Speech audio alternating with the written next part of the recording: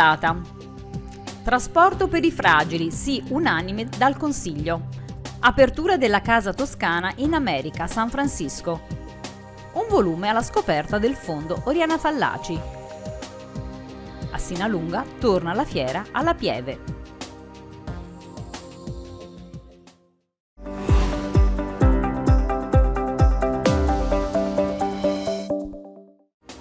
Approvata dall'Aula all'unanimità la risoluzione in merito al servizio di trasporto dedicato ai soggetti con fragilità socio-economica che chiede di rivedere al termine del percorso di sperimentazione i criteri relativi al trasporto rivolgendo particolare attenzione per i malati oncologici.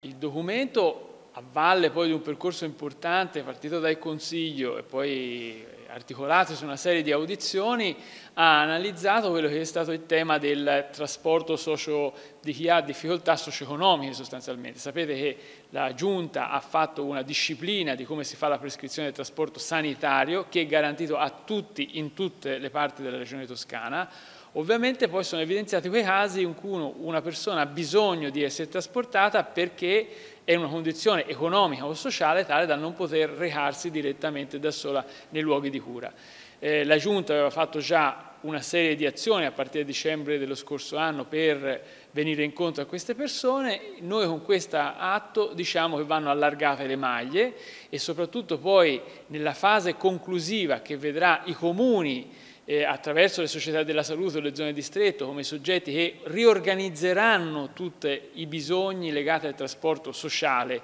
dei nostri cittadini, la necessità di arrivare velocemente a quel momento con risorse nuove, eh, aggiuntive per gli enti locali e con delle linee guida che, che rechino un uh, livello di omogeneità su tutto eh, il territorio della nostra regione. Direi che tutto sommato possiamo ritenerci soddisfatti perché sono stati accolti dei nostri emendamenti in commissione e quindi è stato fatto un lavoro collegiale, questo lavoro è stato, eh, hanno partecipato tutti, tutti, i gruppi e quindi credo che eh, una unanimità sia la giusta,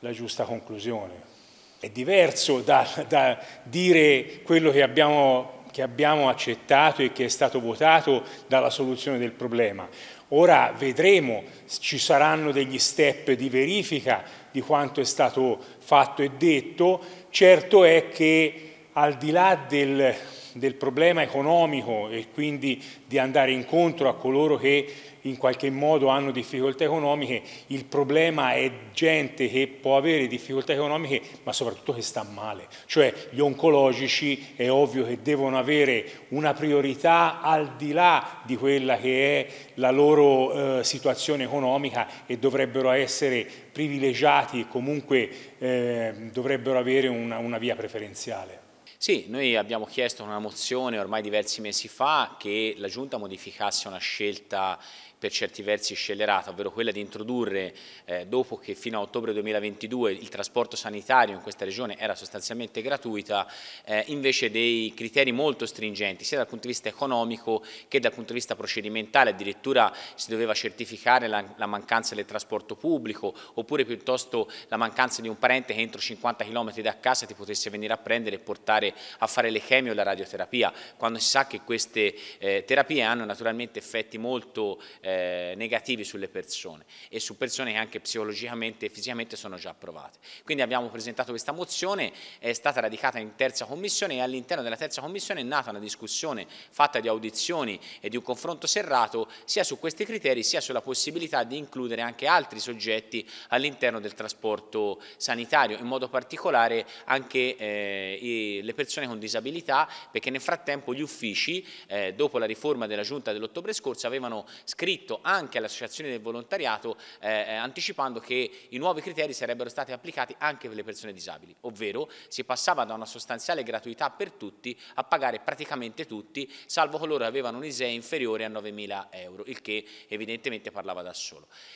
La Giunta ha varato una sperimentazione che nei primi mesi ci ha dato ragione, cioè ha dimostrato che erano pochissime le famiglie che riuscivano ad accedere al nuovo sistema e quindi c'è stato un accordo che si è trasformato in un documento unitario che oggi abbiamo votato e che eh, rispetto a un ulteriore periodo di sperimentazione chiede di fare chiarezza non soltanto sui numeri, sulla qualità del servizio, ma anche sui soldi che eventualmente le zone di distretto e le società della salute dovranno mettere in campo per far fronte al trasporto di queste persone.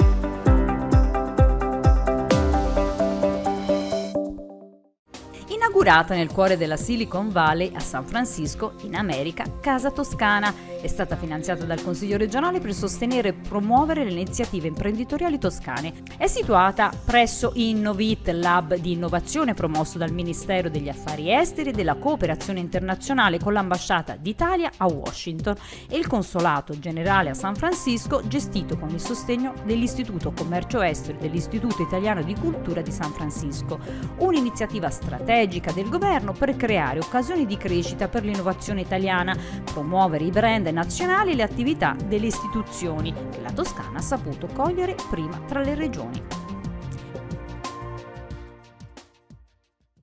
Sono davvero orgoglioso di potervi comunicare che da oggi la Toscana è la prima regione ad aprire un outpost a San Francisco, un luogo in cui le ragazze e ragazzi che hanno creato una nuova impresa o le piccole e medie imprese toscane potranno avere uno spazio di accelerazione, un luogo in cui cercare nuovi mercati, un luogo in cui cercare nuovi investitori. Noi sappiamo tutti che la Toscana è terra di arte, terra di storia, di cultura, di bellezza, ma è anche terra di ingegno. E con questa iniziativa vogliamo lanciare un messaggio di speranza a chi investe sul futuro. Noi siamo al vostro fianco e faremo di tutto perché possiate cogliere le più grandi opportunità di mercati di tutto il mondo.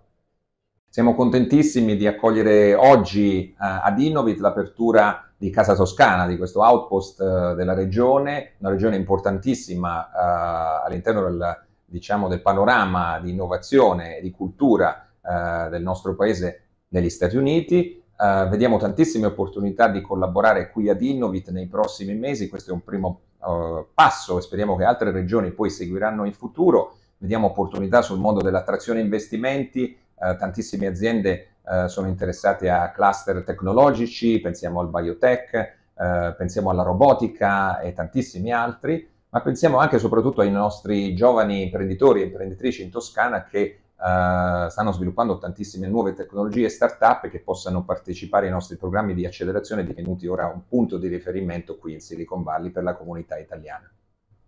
Innovit è un progetto del governo italiano che mira a stabilire un ponte a lungo termine di collaborazione tra l'ecosistema italiano per l'innovazione e l'ecosistema di San Francisco per l'innovazione. L'obiettivo è quello di favorire l'emergere della migliore innovazione italiana e di portarla qui a San Francisco per essere presentata a potenziali investitori e partner che li possano aiutare a crescere. La regione toscana è la prima regione italiana a credere in questo progetto e a stabilire qui presso Innovit un proprio outpost permanente che sia focalizzato sull'ecosistema territoriale toscano e che aiuti le imprese della Toscana, siano esse PMI e start-up innovative, a venire qui a Silicon Valley e a trarre beneficio dallo scambio con uno degli ecosistemi più innovativi del mondo.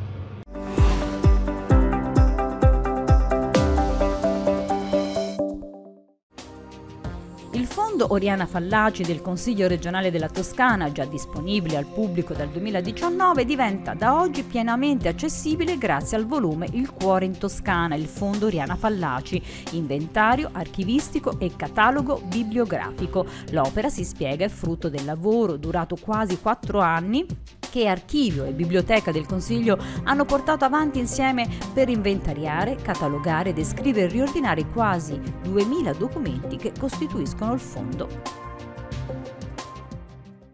È il destino di questa Italia. Eh, diceva Virgilio, ha scritto Virgilio, che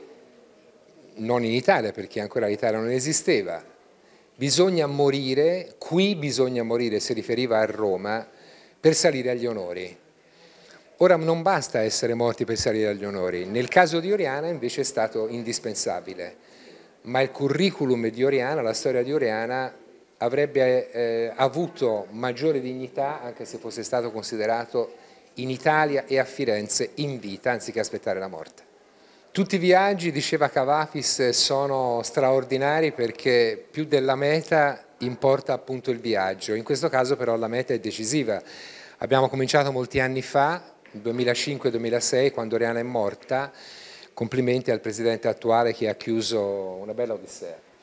La memoria di Oriana è molto presente, specialmente in questi, questi ultimi anni eh, e rappresenta tanto per i suoi lettori, una, una presenza affettuosa, costante, una, una compagnia. Eh, in generale diciamo che è una presenza severa e, e così, mm, però anche di, di esempio di, e di insegnamento. Eh, io, come tutti quelli che hanno a che fare col suo lavoro direttamente, eh, sentiamo molto questa giornata perché l'archivio rappresenta un passo fondamentale eh, per la proprio per mettere a disposizione il lavoro di Oriana e anche in certo senso parte della sua vita, perché gli oggetti contenuti nel fondo, i suoi scritti personali, le lettere sono evocativi e servono molto a capire come questa donna non solo lavorava ma anche come ragionava e come era fatta, quanto era legata alla sua famiglia e a questa città naturalmente. E poi finalmente è un, è un modo di lavorare snello e a disposizione di tutti. Um,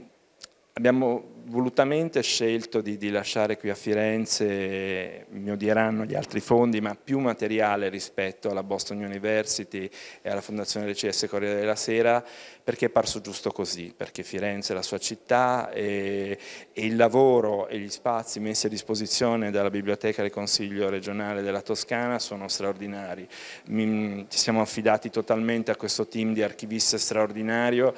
per cui è rassicurante, però è anche tutto molto facile. La pubblicazione addirittura di un, di un, di un manuale per la consultazione è un ulteriore step che francamente non mi aspettavo ed è ancora di più una, una, gioia veramente. Penso che Oriana sarebbe stata molto molto contenta, fiera, eh, quindi non solo adesso c'è una fermata del tram Oriana Fallaci, ma un fondo che tutti possono utilizzare. Siamo finalmente arrivati alla pubblicazione del volume, anche se il lavoro di riordino e di catalogazione della biblioteca era già stato completato, avevamo già reso accessibili questi materiali a chi ce l'aveva fatto eh, richiesta, però a questo punto con questa pubblicazione che tra l'altro è anche in formato digitale sul nostro sito, è possibile per chiunque, quindi non solo studiosi ma anche curiosi, appassionati, eh, amanti della scrittura di Oriana Fallaci, vedere che cosa possediamo e fare eventualmente richiesta per consultare questo materiale. Trovate tutte le indicazioni sui nostri siti, ci sono due pagine dedicate, una della biblioteca e una del Consiglio e c'è un indirizzo mail comune al quale far riferimento per qualsiasi informazione, anche per ricerche che noi possiamo fare a distanza. L'indirizzo è fondofallaci-consiglio.regione.toscana.it.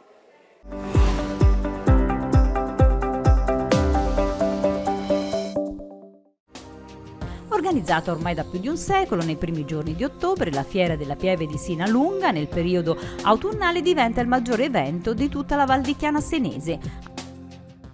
un evento centenario che valorizza un territorio importante ma che è anche una festa per eh, la Toscana. Si parla della nostra storia, si parla delle nostre tradizioni, si parte dalla fatica nel lavoro dei campi per eh, arrivare a messaggi più vicini a noi oggi, alla necessità di valorizzare la filiera corta, alla necessità di investire in agricoltura, in agricoltura di prossimità. Ecco, questo è un momento momento in cui si parla del nostro passato, ma si parla anche del nostro futuro, si mantiene insieme le tradizioni con le innovazioni e si fa a Sinalunga uno dei borghi più belli della nostra regione. Anche quest'anno riproponiamo questa oramai storica edizione, quindi non, non abbiamo il numero perché insomma, si perde nei, nei, nei secoli, insomma, quindi, però eh, è una tradizione che va avanti, un appuntamento atteso da tutta la comunità che poi negli ultimi anni diciamo, è diventato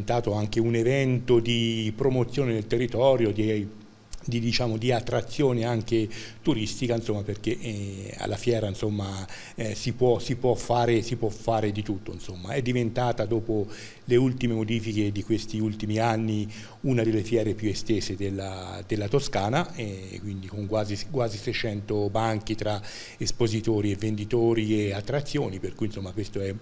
è un vanto di questa zona e di quella parte della, della, della Val di Chiana. Insomma, chiaramente come tante iniziative di questo tipo affondano le, le, le loro radici insomma, in, eh, in, nella fede, quindi è una, è una festa religiosa eh, dedicata alla Madonna del Rosario che poi comunque ha significato per quel territorio eh, per decenni, per secoli, insomma anche il momento di promozione dell'economia locale, in particolar modo l'economia agricola, insomma, quindi, perché insomma, la Val di Chiana è un territorio di, di di, di, agricoltura, di eccellenze alimentari e soprattutto a Sinalunga, là insomma, dove è presente la razza chianina, proprio in questo comune è stata selezionata ai fini del 1800 e oggi insomma, rappresenta una delle migliori carni più blasonate a livello, a livello internazionale, quindi è stata selezionata lì, ne vantiamo questo aspetto, anche se poi è allevata in, in altre varie parti, insomma, sia della Toscana ma anche d'Italia e forse anche del mondo, insomma, però è, è, è nata là.